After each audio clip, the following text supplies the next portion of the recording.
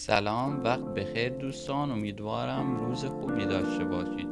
همونطور که در پست اول بهتون قول داده بودم که کندوی اصل پرورشی رو نشونتون بدم امروز در خدمت یکی از زنبورداران منطقه هستیم.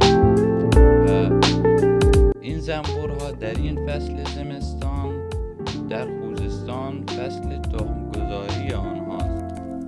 شهد گلی که جمع آوری می کنند برای مصرف غذای خودشان است.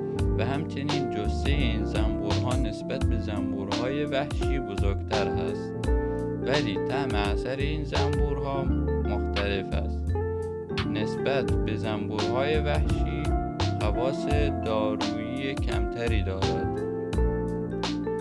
و این آقا که من امروز مزاحمش شدم صاحب این صندوقچه ها و زنبور هاست و فصل تخمگذاری آنها را سپری می کند و چون این فصل از سال هوای منطقه ما با وجود مزرعه های کلزا زنبورداران را به مهاجرت به اینجا وادار کرده است.